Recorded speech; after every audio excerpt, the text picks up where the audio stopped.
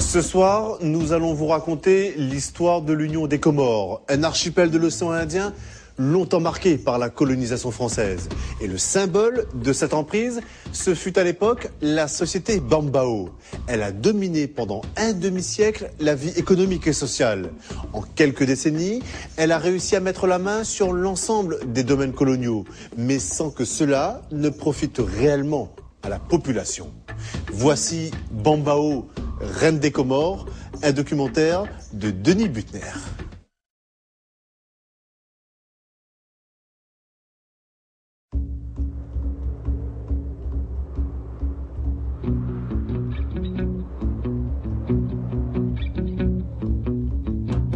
À l'entrée du canal du Mozambique, dans l'océan Indien, voici l'archipel des Comores et ses quatre îles.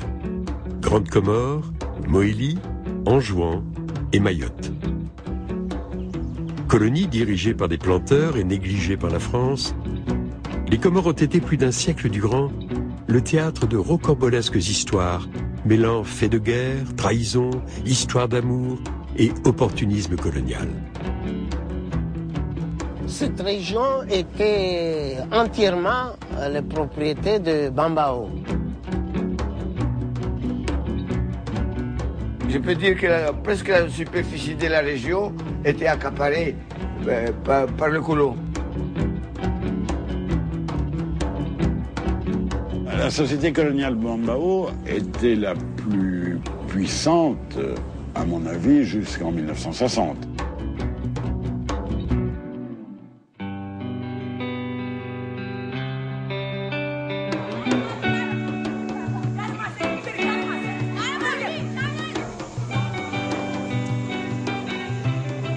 C'est ici, à proximité du village de Bambao, à Anjouan, que s'installe en 1907 la Société coloniale de Bambao.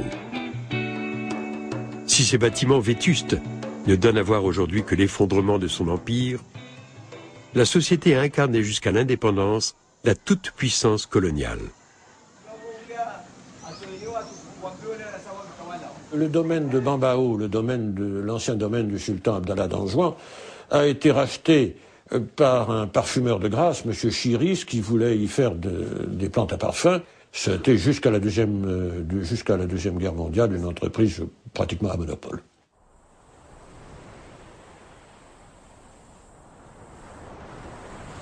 Les Chiris ne sont pas les premiers colons à venir s'installer aux Comores. Après plus de 400 ans de présence arabe dans l'archipel, c'est en 1841 que débute la colonisation française. Alors les Européens s'installent à Mayotte en 1841. À ce moment-là, les marins français euh, qui avaient perdu l'île de France, qui avaient perdu l'île Maurice euh, au traité de Paris en 1814, cherchaient une compensation à la perte de Port-Louis, de Port-Louis de Maurice, c'est cette compensation, ils ont cru la trouver à Mayotte. C'est comme ça qu'ils ont négocié l'acquisition de Mayotte. Mayotte est devenue française euh, juridiquement en 1841, et, mais on en a pris possession officiellement qu'en juin 1843, deux ans après. Et presque aussitôt, euh, les intérêts coloniaux, notamment basés à La Réunion, se sont manifestés en faveur de Mayotte. Cette acquisition a été conduite par un envoyé du gouverneur de la Réunion qui euh, contournait Madagascar à la recherche d'une position côtière, d'une position, d'un point d'appui euh, pour la marine, qui a d'abord négocié l'acquisition de l'île de Nocibé, qui est toute proche de la côte malgache, ceci le 14 juillet 1840, euh, et la, reine de Nocibé, la reine Sakalave de Nocibé, a indiqué aux Français que son oncle, le sultan Andrian Soli, euh, le sultan de Mayotte, était tout disposé également à vendre son île. Les Français sont allés voir à Mayotte, et c'est comme ça qu'est intervenu euh, après quelques pourparlers, le traité du 25 avril 1841, au terme duquel Adrien Souli cédait son île à la France. Le traité suivant, négocié par le capitaine Passot, l'envoyé de M. de L, gouverneur de Bourbon, a été conclu entre son Altesse Adrien Souli, sultan de Mayotte, et le gouvernement français. Article 1er. Le sultan Adrien Souli cède à la France en toute propriété l'île de Mayotte qu'il possède par biais de conquête et par convention et sur laquelle il règne depuis 13 ans.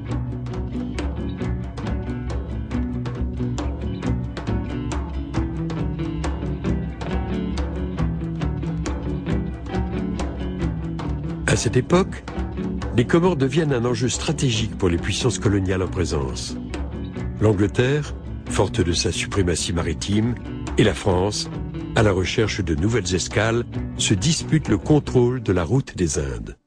Je crois que les Anglais n'étaient pas très désireux d'acquérir des îles ou des territoires dans euh, ces parages. L'île qui les intéressait et dans laquelle ils ont établi leur influence, c'est Anjouan.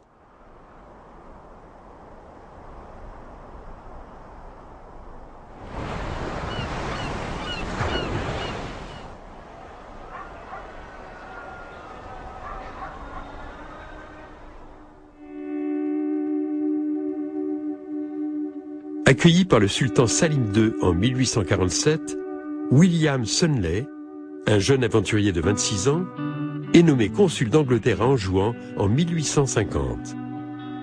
Il ne tarde pas à devenir l'une des figures majeures des colons planteurs de l'archipel des Comores.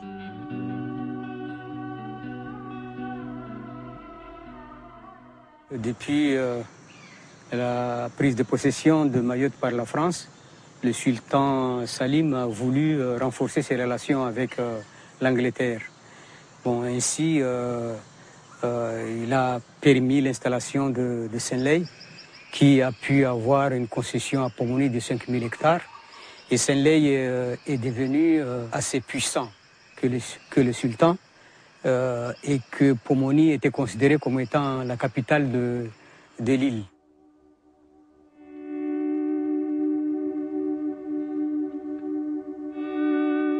À la mort de Salim II, en 1855, son fils, Abdallah III, lui succède. Prenant rapidement ombrage de la puissance nouvelle de William Sunley, il favorise la venue d'un autre colon, l'Américain Benjamin Wilson. Wilson avait eu la confiance d'Abdallah. Donc Wilson est devenu euh, son secrétaire particulier. Donc Wilson, vu la réussite de Sunley, et aussi euh, Abdallah qui commence à, s'émerger, Wilson a voulu aussi avoir de terrain. Donc Abdallah lui avait consenti le cirque de Patsy de 2000 hectares. Le docteur Wilson n'avait pas un sous-vaillant, ce qui fait qu'il s'était lui aussi considérablement endetté. Euh, ses relations avec le sultan sont devenues franchement euh, très mauvaises. Il était endetté envers le sultan et il essayait de discréditer le gouvernement du sultan dans l'espoir que les Français dépose Abdallah, n'est-ce pas, et établisse leur protectorat, ce qui aurait été euh, tout bénéfice pour lui, parce que ça aurait oblitéré euh, ses dettes envers le, sultan. Quelques semaines après la mort d'Abdallah, une révolution éclate à Anjouan, c'est-à-dire que les esclaves et les paysans pauvres de la cuvette, ceux qu'on appelle les gens de la brousse, euh, font cause commune, se révoltent contre le sultanat. En tout cas, il y a une formidable révolution qui embrase l'île d'Anjouan. Les Français vont mettre sur pied une expédition militaire pour venir à bout de cette, euh, révolution d'Anjouan. Le terme de révolution n'est certainement pas trop fort.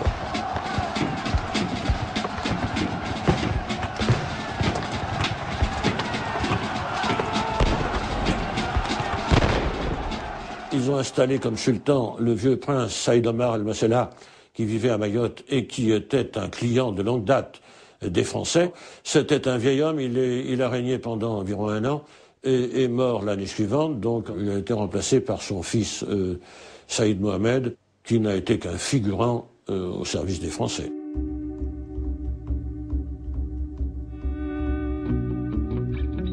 À cette époque, les Comores ont à leur tête un ensemble complexe de sultanats, vestiges des invasions arabes. Chaque île est dirigée par un, voire plusieurs sultans locaux, faisant de l'archipel une zone divisée et vulnérable. À Moélie, le pouvoir est aux mains de la reine Djoumbé Fatima.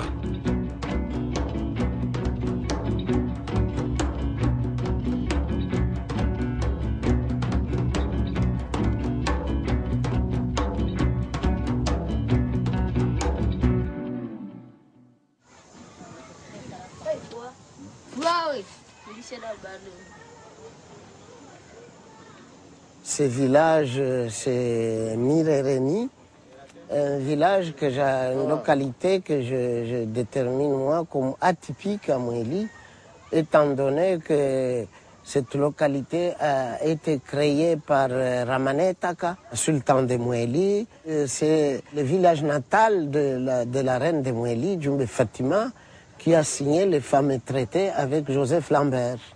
C'est une romance, c'est la romance de Lambert et de la, et de la jeune reine Djumbe Fatima. Le personnage de Lambert est sympathique. C'était un aventurier, une espèce de Don Quichotte.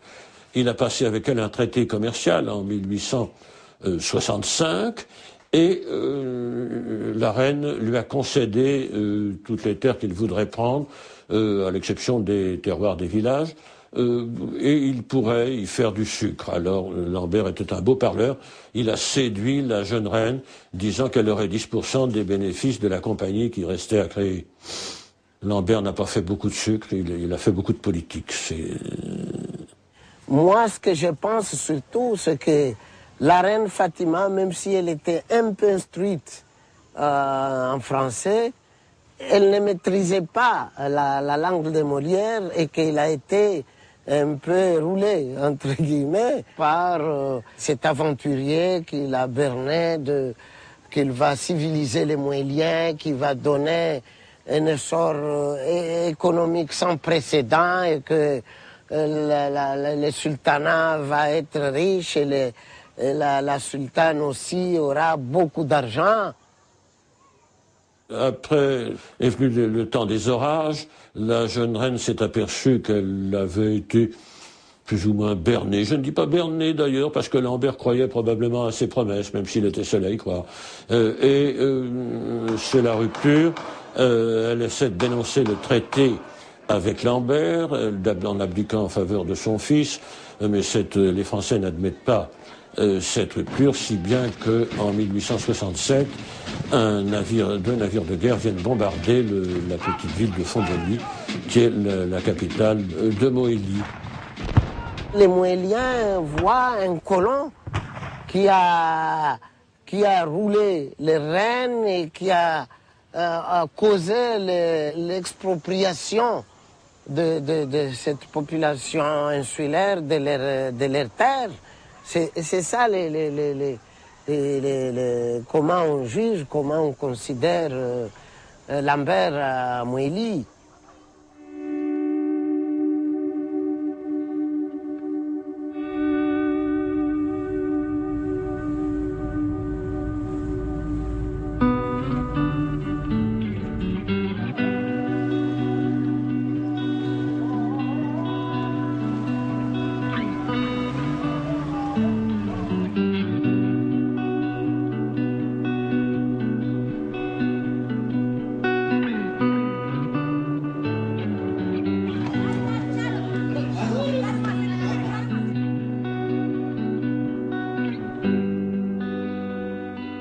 C'est une triste histoire. Euh, le planteur Humblot, euh, le colon Humblot, qui était en fait un, botaniste du Muséum d'histoire naturelle, est venu à la Grande Comore en 1885 pour inventorier les richesses botaniques de l'île euh, pour le compte du Muséum. Mais en fait, du compte du Muséum, il a décidé de les exploiter pour son intérêt propre.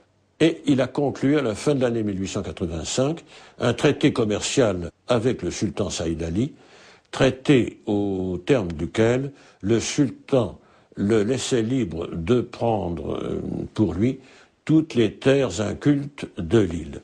Euh, c'est ainsi qu'Humblot s'est emparé de plus de 50 000 hectares, c'est-à-dire près de la moitié de la superficie de la Grande Comore.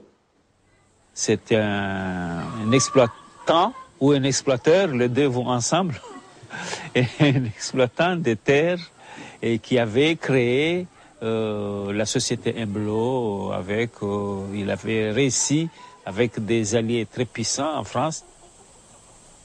Le sultan Seyd Ali était élevé à, Mayotte, donc il était francophile, donc il avait confiance euh, à ce monsieur Humblot. Il a d'abord conforté le pouvoir de Saïd Ali en en faisant euh, l'unique euh, sultan de la Grande Comore. Et une fois que Saïd Ali est devenu le maître de la Grande Comore, eh bien, euh, Humblot n'a plus qu'une idée, c'est se défaire de lui. Saïd Ali a été impliqué dans une affaire de tentative de meurtre contre Humblot. Toute cette, cette affaire-là pourrait bien avoir été montée de toutes pièces euh, par Humblot. En tout cas, la responsabilité de Saïd Ali n'a jamais été établie. Et c'est ainsi que Saïd Ali a été euh, déporté à La Réunion.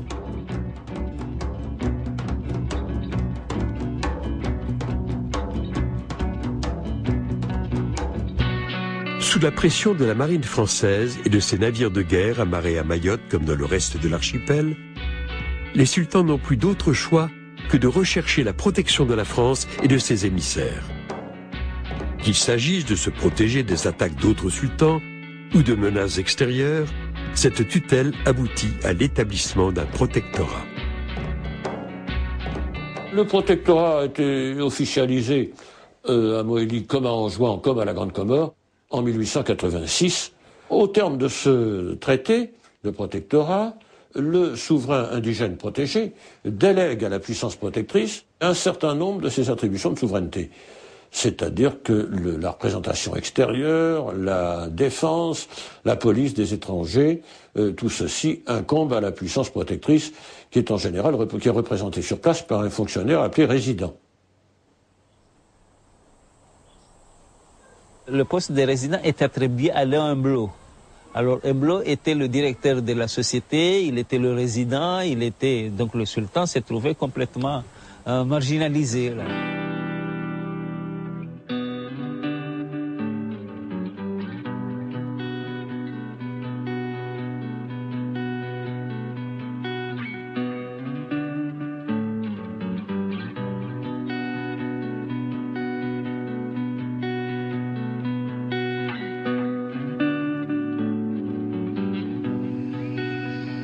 Les planteurs sont à présent les maîtres du jeu. Ils détiennent désormais la quasi-totalité des terres exploitables des Comores. Il ne leur reste plus qu'à tirer pleinement profit de leurs appropriations. Dans la première proclamation de Passau lors de la prise de possession, les Mahorais propriétaires avaient un délai d'une lune pour faire connaître leurs droits de propriété, c'est-à-dire 30 jours. Euh, alors évidemment, sans journaux, sans télévision, sans radio, euh, il fallait savoir qu'on avait 30 jours pour faire connaître ses droits de propriété. Donc en réalité, il y a eu une véritable entreprise de dépossession. Nous ici, euh, ce qu'on nous a raconté, c'est qu'on utilisait la, le, le, le, système foncier traditionnel, soit communautaire, soit euh, musulman, euh, qui veut que la terre appartenant au premier occupant tout simplement.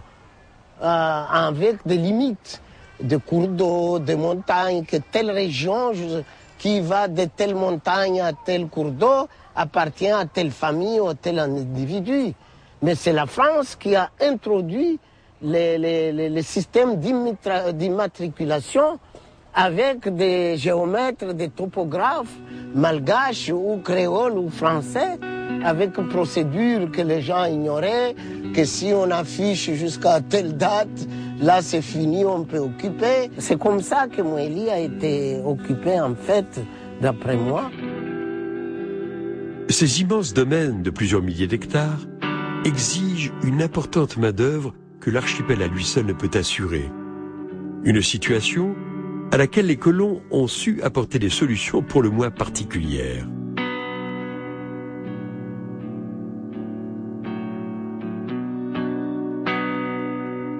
On a aboli l'esclavage, mais au moment de l'affranchissement, l'esclave affranchi devait souscrire un engagement de 5 ans pour travailler dans une plantation ou pour, euh, euh, euh, travailler pour l'administration.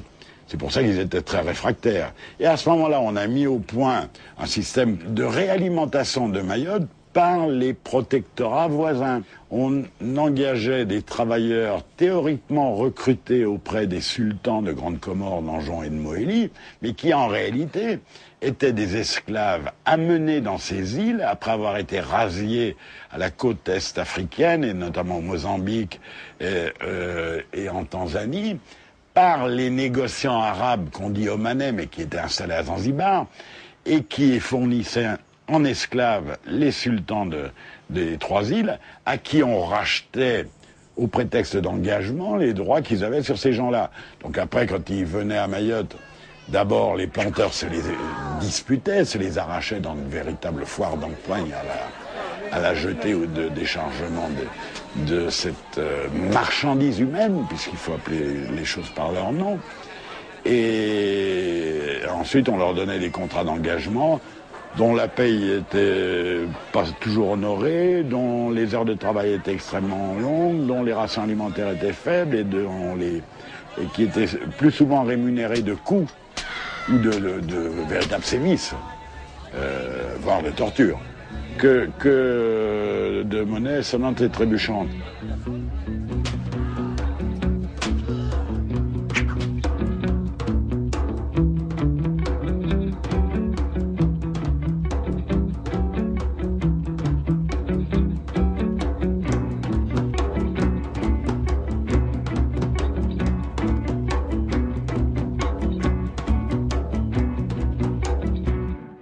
Engagements avaient lieu en général à bord d'un navire en présence d'un délégué de l'administration. C'est-à-dire qu'un euh, personnage montait sur le navire, on le faisait monter car souvent c'était un esclave, euh, il répondait Ewa à une question qu'on lui posait dans une langue qu'il ne comprenait pas, et l'engagement était conclu. Euh, il avait signé en quelque sorte un engagement pour travailler pendant cinq ans dans les plantations de, de Mayotte. Et ce système des engagements a été étendu aux autres îles après l'établissement du, protectorat. À la Grande Comore, les choses étaient un peu différentes parce que euh, Humblot employait les esclaves du euh, sultanat, puisqu'il avait fait main basse sur les biens euh, du sultanat. À son Altesse Saïd Ali Ben Saïd Omar, sultan de la Grande Comore. Altesse, j'ai l'honneur de vous dire que j'ai reçu votre lettre d'hier et qu'elle ne m'a nullement satisfait. Depuis trois mois, chaque jour, vous remettez au lendemain l'envoi de travailleurs, me donnant comme excuse les entraves que la politique dans votre pays met à l'accomplissement de vos engagements. Je n'ai pas à rentrer dans toutes ces affaires. Vous vous êtes engagé par traité à fournir des travailleurs à la société. Si vous ne nous donnez pas satisfaction, dès demain, je vous réclame 500 francs de dommages et intérêts par jour de retard. Léon Humblot et compagnie. C'est l'influence de Humblot qui explique sans doute que l'esclavage n'a été aboli à la euh, Grande Comore qu'en 1904. C'est à ma connaissance à l'époque le dernier territoire français, ou sous protectorat français, où l'esclavage est aboli. Et d'ailleurs, Humblot a eu euh, beaucoup de problèmes parce qu'à la fin, quand il a, on l'a relevé de, son poste de, résident, on a mis d'autres résidents à la place. Et ces résidents, comme Pobéguin, euh, ils, n'acceptaient pas les conditions de travail imposées par Humblot. Ils payaient comme ils voulaient et quand ils voulaient.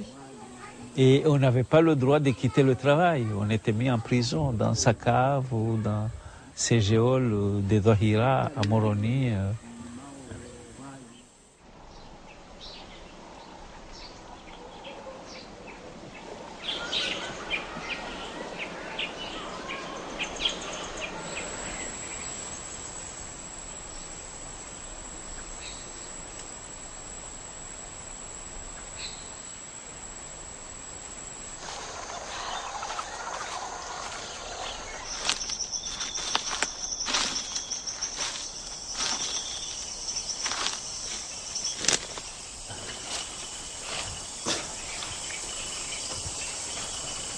Là.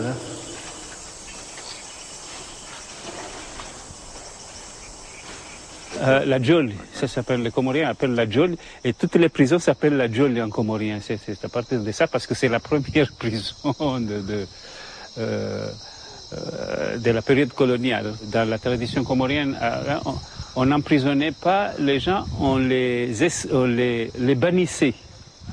Mais c'est Léon Bleu qui a commencé l'emprisonnement ça n'existait pas, des, prisons. On bannissait, ou bien il y avait un poteau sur la place publique, quelqu'un qui a commis une faute grave, on l'attachait là, il restait au soleil pendant un certain temps et puis on le libérait. Ou bien il était banni, il n'avait pas le droit de participer aux activités communautaires, au public et tout ça. Il ne pouvait pas traverser la place publique. Voilà les sanctions qui étaient en cours avant Emblo.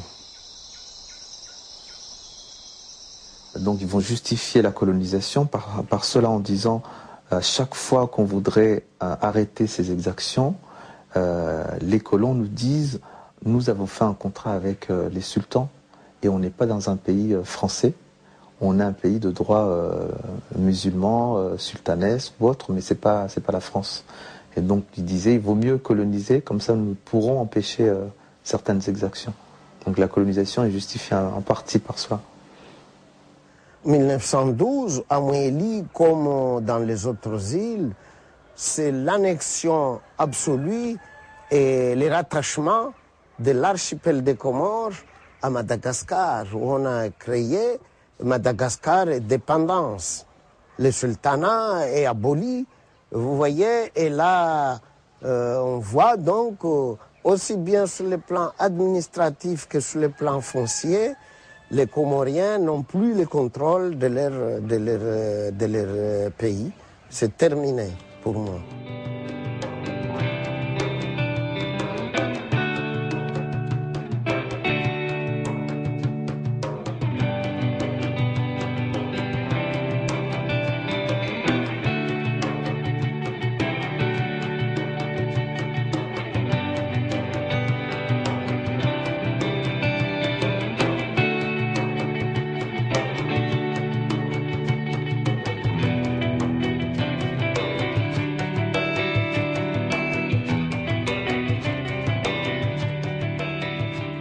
Alors les cultures, c'était principalement la canne à sucre et presque exclusivement.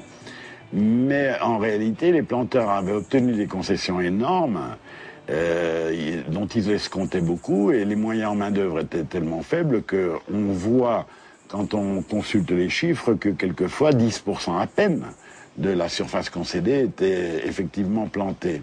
Alors la spéculation principale, c'était la canne à sucre. C'était même la seule pendant très longtemps. Euh, avec un point culminant aux alentours de 1885.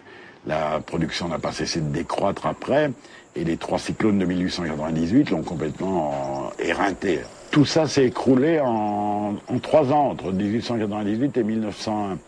Et là, les planteurs les plus entreprenants, les plus ingénieux aussi, se sont dit qu'il était temps de diversifier.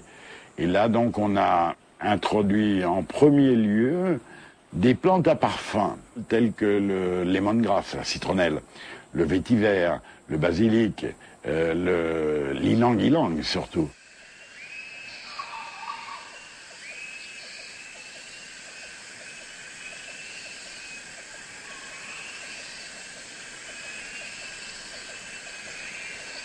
Alors Chiris va s'implanter avec la société coloniale de Bambao, qui deviendra ensuite la société Comore Bambao, ultérieurement, cette même SCB va racheter la SAGC, la Société Anonyme de Grande Comore, qui est ce qui reste des immenses propriétés, plus de 50 000 hectares concédés, euh, de Léon Humblot en Grande Comore. Donc on peut dire que les parfumeurs grassois avaient euh, mis une grosse main sur l'archipel. Alors les chéris se sont implantés petit à petit. Le domaine de Pomoni a été racheté aux descendants de Sunley le domaine de Patsy aux descendants de Wilson, euh, ça c'est pour Anjouan. À, à Moélie, ça a été racheté quand la société a fait faillite en, vers 1935. Euh, à Mayotte, le domaine de Combagny a été racheté aux descendants du marquis de Fémoreau qui l'avait créé. Alors il reste la Grande Comore, c'est complètement à part, puisqu'il y avait une société qui s'appelait la Société Anonyme de la Grande Comore, et qui a été réincorporée, euh, qui a été rachetée avant la guerre par la Bambao.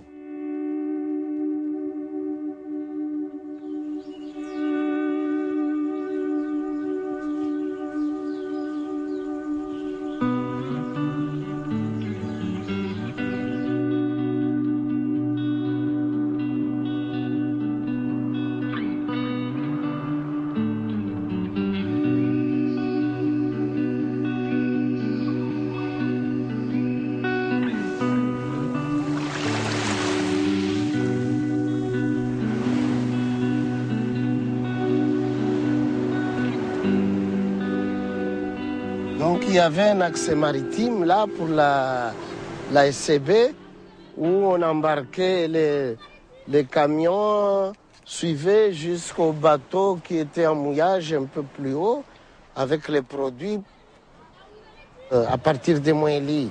On envoyait à l'extérieur des produits du pays, les copras, les essences à parfum, le- les cisales, les fibres de cisales. Et ensuite, on faisait venir euh, des, produits manufa- fa- fa- manufacturés, euh, donc les tissus, les marmites, les tôles, euh, des produits vivriers, les riz, les sels, les sucres, etc. Donc, il y avait des échanges.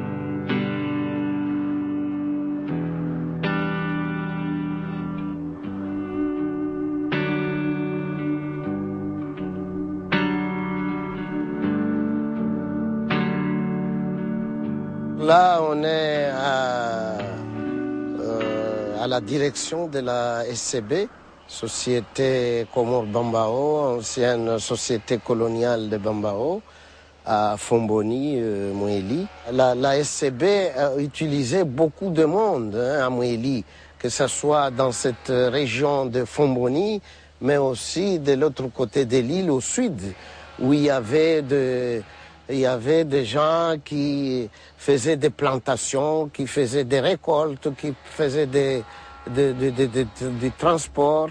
Il y avait des menuisiers, il y avait des forgerons, il y avait un monde incroyable.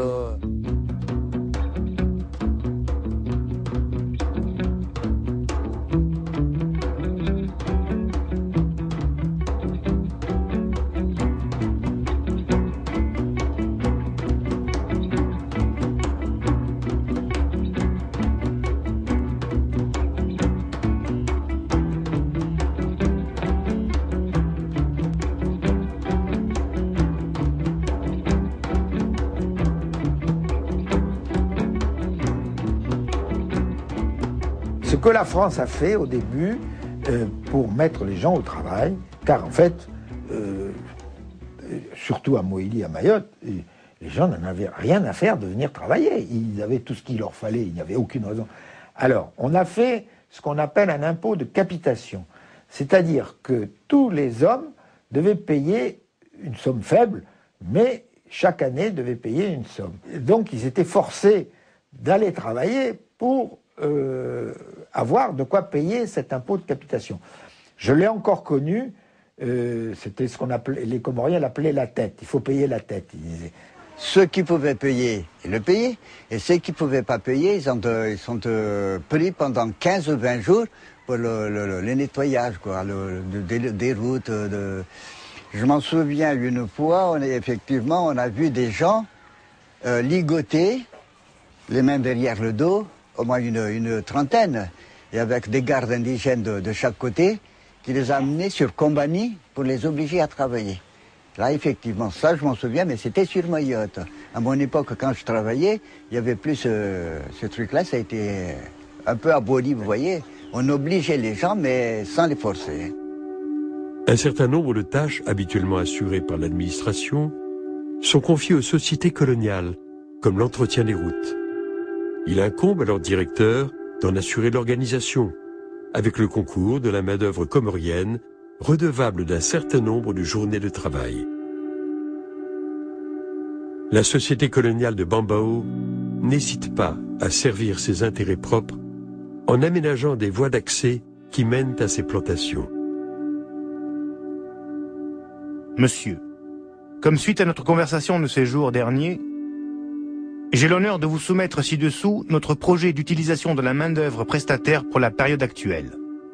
Nous sommes tout d'abord convaincus que la route comprise entre le col de Patsy et le village de Bambao offre le plus grand intérêt puisqu'elle dessert et relie à Mutsamoudou tous les villages compris sur le domaine de Nyumakele, Domoni et Bambao. Les grosses difficultés que nous avons depuis deux ou trois années à trouver des porteurs de Finanzan nous obligent à envisager à l'avenir un moyen de locomotion autre que celui-ci. Nous vous demandons donc de nous laisser utiliser la moitié des prestataires prévus pour notre région.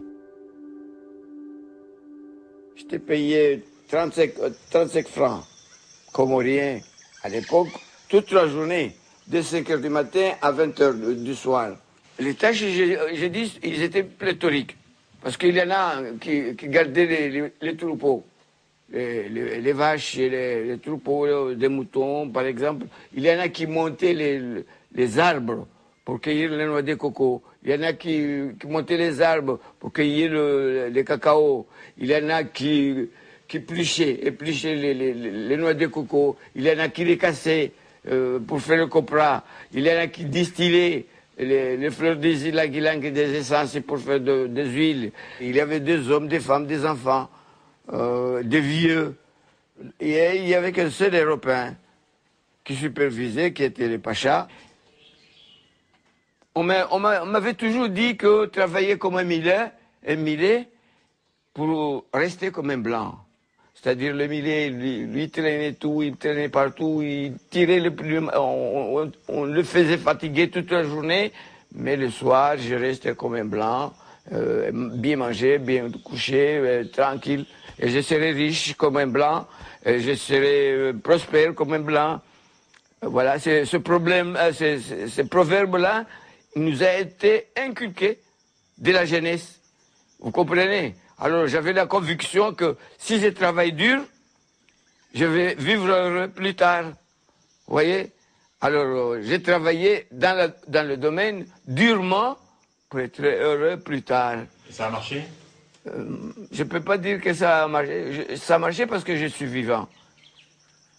Ça a marché parce que je suis vivant, je ne suis pas mort. Hein, sous les tâches rudes, sur le rudiment de l'époque.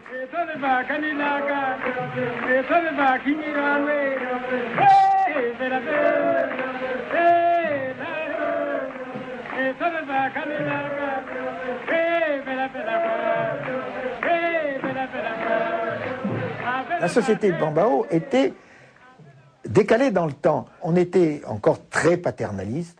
Les gens venaient nous voir, euh, s'il y avait quelqu'un de malade, on prêtait une voiture, s'il fallait l'évacuer sur un hôpital. Euh, c'était du paternalisme. Mais ça marchait. Euh, il faut quand même pas exagérer. Les gens n'étaient pas malheureux. Il y avait pas, personne n'avait faim. Quand il y avait des problèmes, c'était nous qui donnions les camions pour aller chercher le riz ou, des choses comme ça. On était, c'était du paternalisme. Je n'ai pas, il n'y a pas de honte à le dire. Je n'ai euh, jamais rencontré de colon euh, aux Comores qui ait osé parler de mission civilisatrice. Euh, ils ont eu cette prudence, car mission, mission civilisatrice, c'est comme très difficile d'en parler aux Comores quand on sait l'état dans lequel ils ont mis les îles où ils sont passés. Euh, quand on sait qu'il devait y avoir en, tout et pour tout vers 1910 une cinquantaine d'élèves dans l'enseignement primaire euh, à Mayotte et peut-être euh, le double pour tout l'archipel. Il y avait une, amorce de lycée à, à, Mayotte et un petit, on allait jusqu'en troisième à Moélie. Mais sinon, quand je suis arrivé, il n'y avait rien de ça. Il y avait juste un lycée à Moroni, c'est tout. Hein. Et on allait jusqu'en sixième. Après, il fallait se débrouiller. Hein. il y avait un concours pour aller au collège en sixième, ce qu'on appelle en sixième en ce moment. Bon, il y avait un concours où il y avait des candidats de Mayotte, d'Anjouan, de Moélie, de Grand Comore. On faisait un concours ensemble euh, avec les Malgaches. Bon, le quota du collège ici, était fixé à 25 élèves. Que nous soyons candidats 30 000 ou 40 000 candidats, non, le quota c'est 25. la possibilité d'accueil, c'était 25. Alors vous pouvez être admis une quarantaine, une cinquantaine, mais on prend 25. Le reste, aller au champ, ou aller à la mer, ou aller euh, sucer le, le téton de ta mère, mais euh, il n'y a pas de place pour toi. Cela veut dire que ne veut pas que nous, nous, apprenons quelque chose. Non, moi je ne crois pas. Moi, ma philosophie euh, en tant que chercheur dans cette histoire, c'est que la France a voulu rapidement former une élite auxiliaire. Il fallait aller rapidement et avoir des gens qui pouvaient seconder la France, être à côté de la France pour asseoir cette administration et pour servir dans l'économie euh, des colons français de la société et non pas une scolarisation des masses pour toute la population. Moi, je crois qu'il faut être prudent aussi et voir. Euh, c'est une conséquence fâcheuse, malheureusement, que la grande masse des de, Comoriens est restée longtemps ignorante, mais ce n'était pas calculé exprès pour, pour garder les Comoriens dans cet état, mais c'était le rôle de l'éducation à ce moment-là.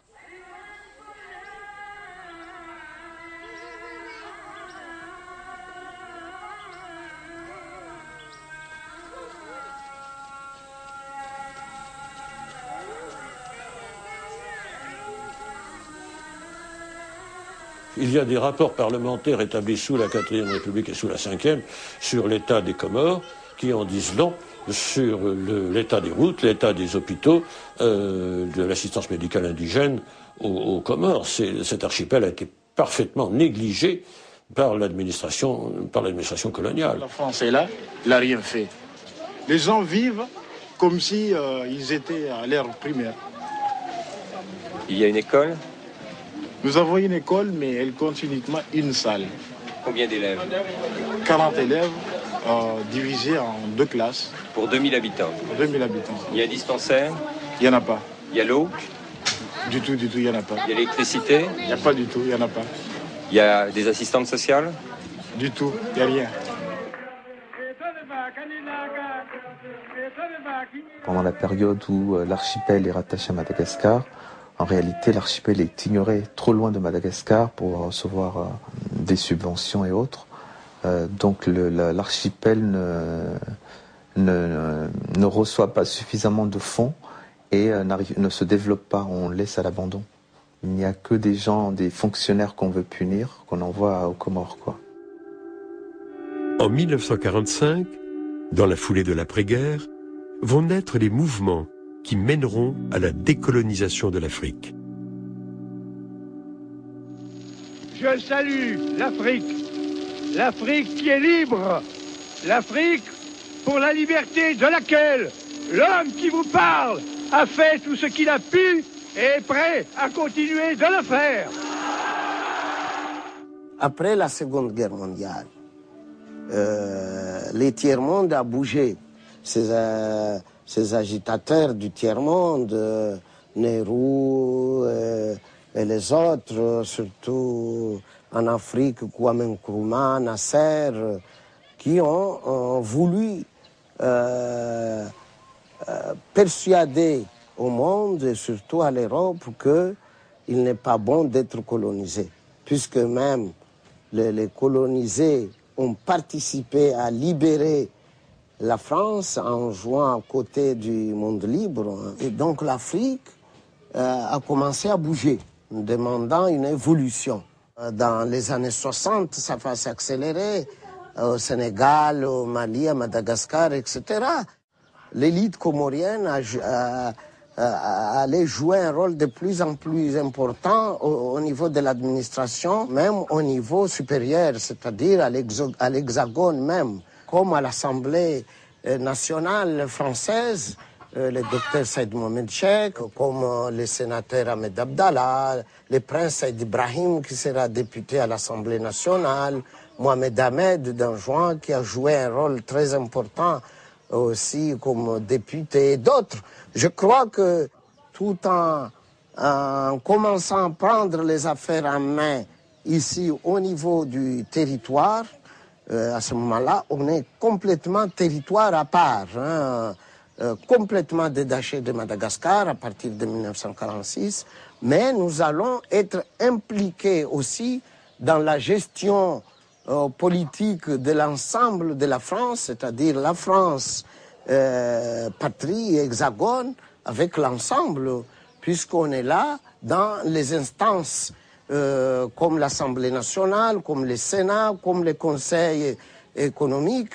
Euh, quand même, effectivement, il y a eu des Comoriens à ce moment-là qui ont été élus dans euh, ces organes de l'État français en général.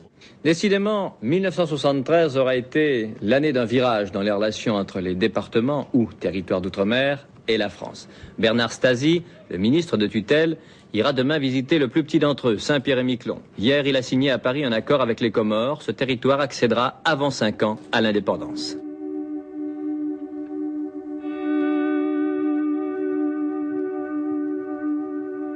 Je suis parti euh, un mois avant l'indépendance et euh, l'évolution se faisait pas trop mal. C'est-à-dire qu'on avait cédé nos terres à Cisal, il y, avait, il eu des, il y a eu des réformes agraires, on avait cédé les terres à Cisal, euh, les terres repartaient, c'est-à-dire qu'on on ne conservait en fait que les terrains cultivés. Donc la Bambao était la propriété à 60% de la famille Chiris et le, le, reste de la Bambao était la propriété de la famille Carnot, en la, en la personne de M. Lebray. M. Lebray a désiré, dans les années 68-69, se séparer de, sa participation de la, dans la Bambao.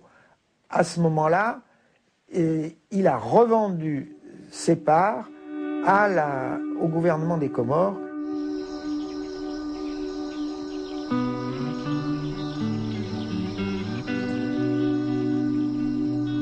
La cession d'une partie du capital de la société coloniale de Bambao laisse présager la marche inexorable des Comores vers l'indépendance.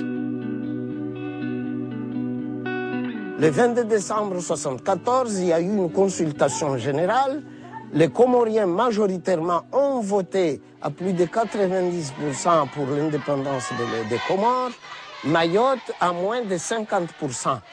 Voilà, le, problème est parti de là et que les autorités françaises, pour une raison ou une autre, ont euh, dit qu'il fallait considérer euh, un vote île par île et qu'ils n'allaient pas obliger les Maorais à être indépendants alors qu'ils veulent être, euh, français, alors que normalement nous faisons partie d'un même territoire avec les limites colonial. Donc, un pays qui devient indépendant doit hériter de ses frontières, du territoire dont la France avait toujours occupé jusqu'à la consultation.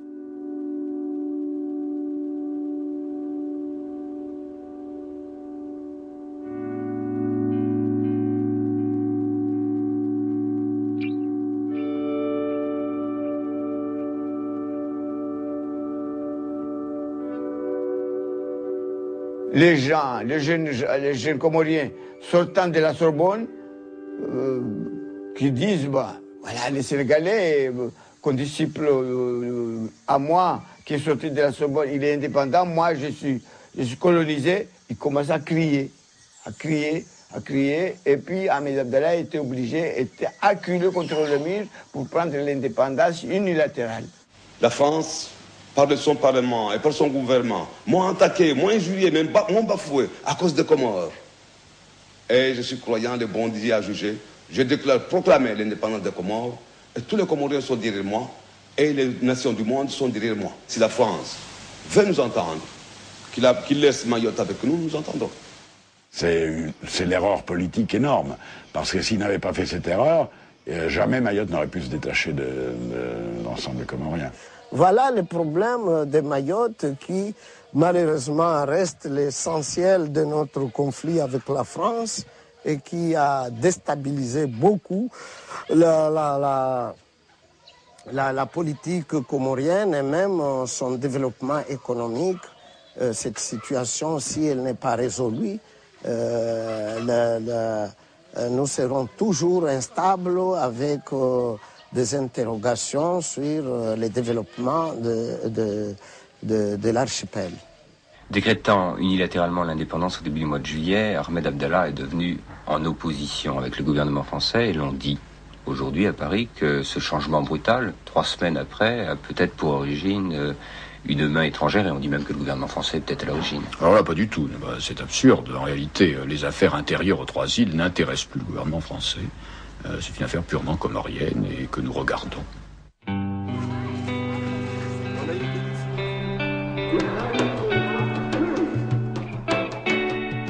Aujourd'hui, façonnés par 130 années de colonisation, les Comores sont, dans bien des domaines, un pays fragilisé. Si les Comoriens ont repris possession de leurs terres et tentent de vivre de plantations restituées par les Français, la situation économique et sociale du pays reste sensible.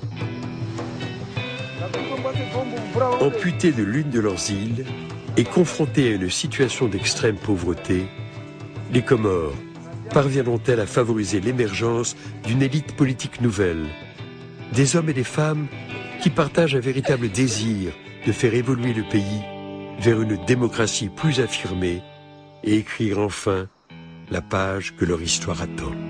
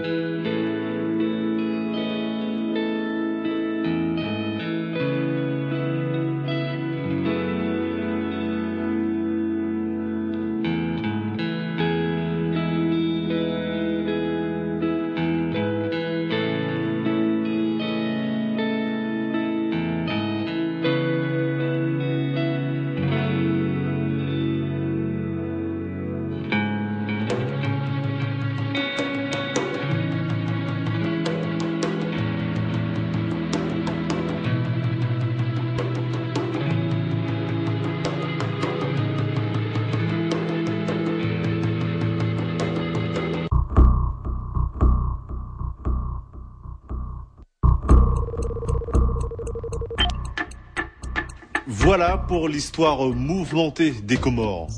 Merci et à la semaine prochaine. Un événement France Télévisions. Demain soir, Pierre Palmade vous ouvre les portes de son grand restaurant. Bonsoir, je crois que j'ai réservé une table. Dis donc, toi, tu m'as fait ma réservation Un établissement où l'humour s'invite à la table des plus grandes stars. Bonsoir. Je crois que nous avons réservé une table. Je crois que j'ai réservé une table. Ah oui, tout à fait. Une comédie événement imaginée et servie par Pierre Palmade, demain soir à 20h35 sur France 2.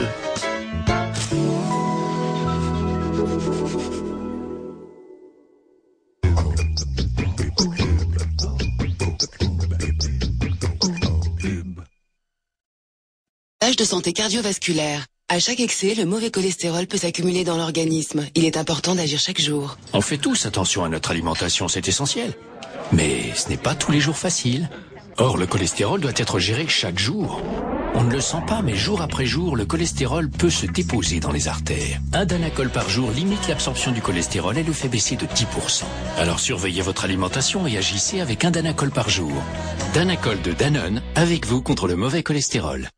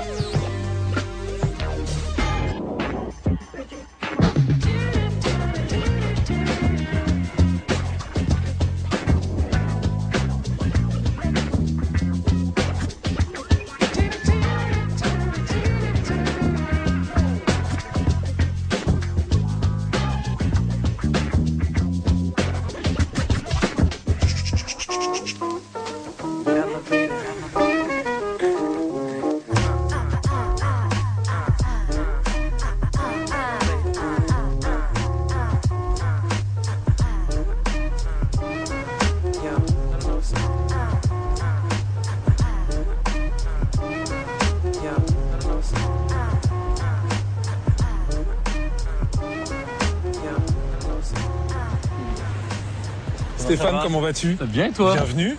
Merci. Le trajet s'est bien passé Formidable. Eh ben, en tout cas, merci d'être dans Tom Tom. Bienvenue à Trappes, en Une très bonne émission. Merci.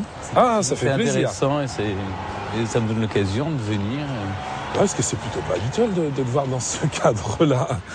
Non, mais ça m'est arrivé. Je me souviens un soir de réveillon, euh, passer euh, une soirée de Noël euh, dans une cité. Tu as eu le temps de garder quelques images fortes de ce passage-là, tu as eu le temps de réfléchir à, à ces, ces quartiers populaires, euh, ça t'a interpellé?